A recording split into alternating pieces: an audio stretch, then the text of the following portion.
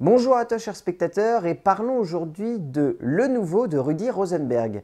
Euh, l'histoire c'est celle de Benoît, un jeune garçon qui vient du Havre et qui débarque à Paris et tout simplement on va le voir essayer de se faire une place dans le collège où il vient de débarquer. Mais littéralement, hein, c'est ça le principe du film. On n'attendait pas du tout Le Nouveau, très clairement. Enfin, Le Nouveau c'est un film qui est sorti de nulle part il y a à peine un mois avec une bande-annonce qui vendait pas grand-chose. On se demandait qu'est-ce que ça pouvait être, on se demandait qu'est-ce que ça pouvait donner. Et en plus, c'est un premier long métrage, celui de Rudy Rosenberg. Donc, sur le papier, c'était assez particulier comme film, on se demandait vraiment à quoi on allait avoir droit. On se demandait tout sauf ça. C'est une perle. Le nouveau est clairement la claque de début d'année, quoi. Enfin, clairement, c'était la claque de fin d'année dernière. Mais là, pour le coup, c'est une bouffée d'air frais ce film. Il est juste magnifique. C'est un des films les plus beaux que le cinéma français ait livré actuellement. C'est un film sur l'enfance, c'est un film sur le fait de s'assumer, c'est un film sur la beauté de la vie, c'est un film sur l'amour, c'est un film sur les potes. C'est hallucinant, mais on vient de voir une œuvre universelle à hauteur d'enfant. Rudy Rosenberg vient d'inventer une nouvelle façon de voir le long métrage c'est impressionnant, mais ça faisait très très très longtemps qu'un film pour enfants n'avait pas été aussi juste dans sa manière de traiter ses personnages et dans sa manière de regarder le monde. C'est-à-dire que un enfant peut regarder ce film, un adulte peut regarder ce film, un bébé pourrait regarder ce film et il y comprendrait tout quoi. C'est hallucinant, mais le message est universel dans ce long métrage et ça nous prend au tripes.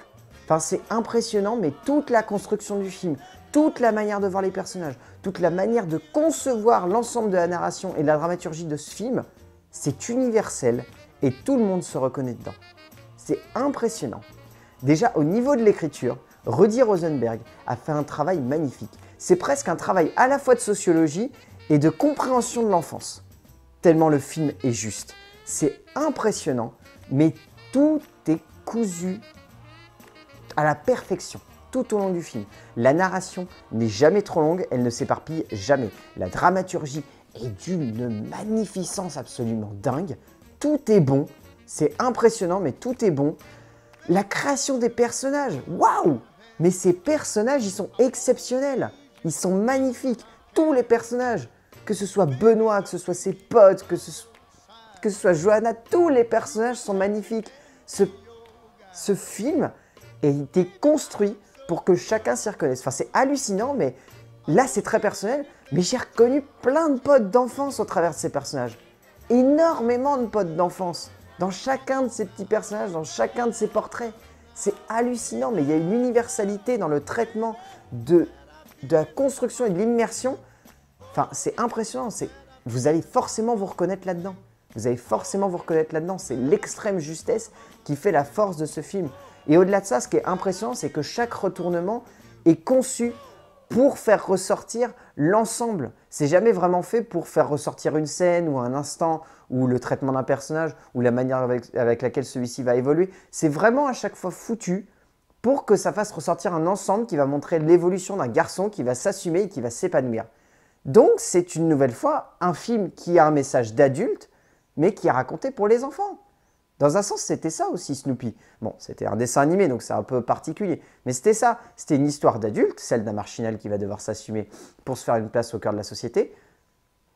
Et bien là, c'est exactement ça. C'est l'histoire d'un marginal qui va avoir du mal à se trouver une place et qui va devoir s'accepter lui-même et pas se créer une image afin de rentrer dans le collège. C'est tout simplement ça. C'est hallucinant, mais c'est super bien foutu de la part de Rudy Rosenberg. Au niveau de la mise en scène, ce qui est impressionnant, c'est que tout au long du film, il se met à hauteur d'enfant. Et ça, ça devient très rare dans ce genre de film. C'est-à-dire que souvent, quand on filme des enfants, on a tendance à prendre un point de vue très omniscient, à regarder les personnages, voilà, comme si c'était des enfants, point. Il n'y a pas d'adulte dans ce film, quasiment pas. Il y a une scène avec un adulte, et sinon l'adulte le plus mature, entre guillemets, de tout le film, c'est Max Boublil. Donc c'est vous dire, tout le long du film, on ne voit quasiment aucun adulte. Et c'est un parti pris. Et c'est absolument fou parce que résultat, on assimile ces enfants comme des adultes. Juste avec un rapport de scénographie une mise en scène et de hauteur de cadre.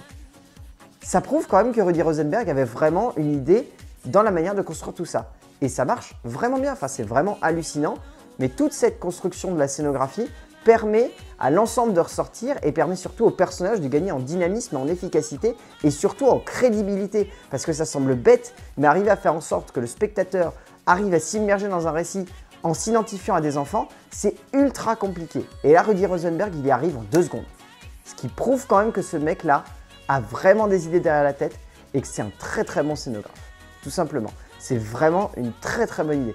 Au-delà de ça, le style de la mise en scène est assez simple et permet de faire ressortir cette efficacité scénographique.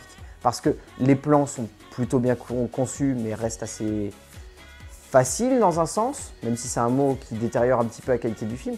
Mais on va dire que c'est une facilité qui permet de donner de l'efficacité à l'ensemble scénographique dans cette idée-là.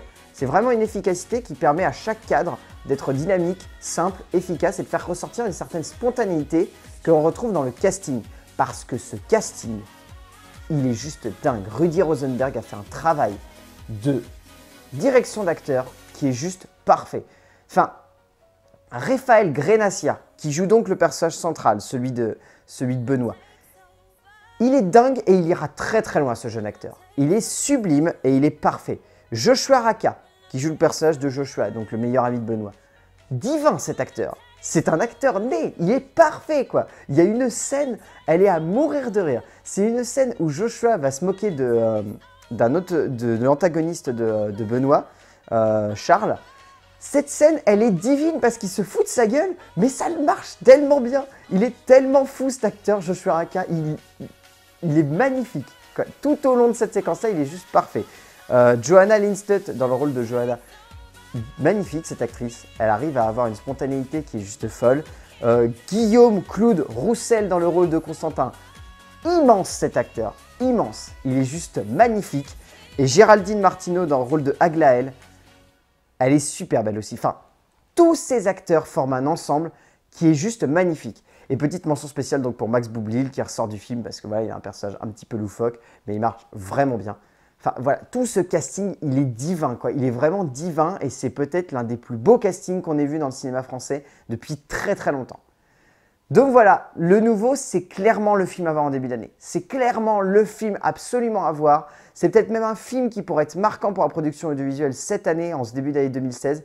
Enfin, Foncez voir le nouveau de Rudy Rosenberg, vous comprendrez pourquoi je, je semble autant emballé par ce film, mais il est vraiment dingue ce long métrage. Allez le voir, foncez tout de suite. A plus